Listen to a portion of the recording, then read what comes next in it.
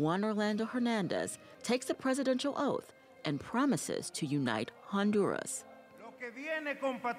Little by little, we are beginning to harvest the fruits of our labor. What is to come, compatriots, will surprise those near and far. Honduras has lots to offer. We will grow together with God's hand. But that's easier said than done.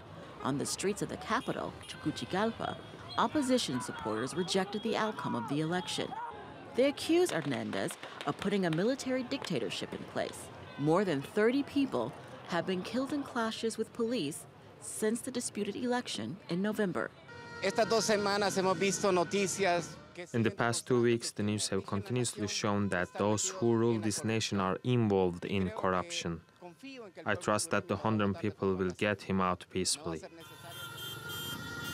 Previously, presidents in Honduras could only serve one term, but the Supreme Court lifted the ban on re election, and Hernandez ran against Salvador Nasrallah.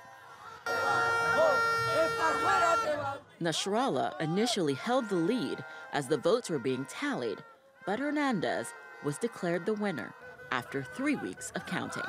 The opposition claims the votes were tampered with.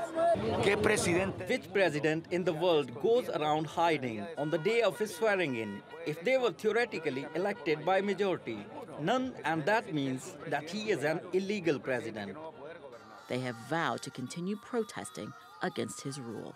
Staci Bivens, TRT World.